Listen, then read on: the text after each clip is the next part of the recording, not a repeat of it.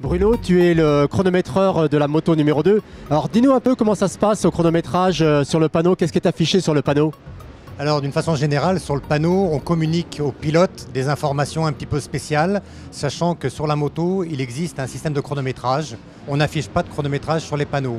Par contre, on lui indique le nombre de tours qu'il lui reste à faire, on lui indique l'écart par exemple avec un pilote qui se trouverait ou devant lui ou derrière lui, et on lui bon un stop and go, ce genre de choses, le genre essentiellement de l'information un petit peu euh, qui sort de l'ordinaire.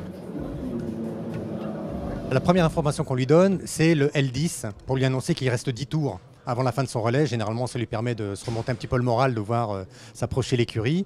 Et ensuite, à partir de L3, donc il reste trois tours, L2, L1, et ensuite ça dépend. Soit on lui demande de, continuer jusqu'à ce qu'il ait euh, le voyant de réserve qui s'allume, soit on lui demande de rentrer directement au stand de façon à ce qu'on puisse nous anticiper le changement de pneus. Parce que quand on sait exactement quand il rentre au stand, on peut préparer les pneus, enlever les couvertures et on fait un arrêt le plus efficace possible.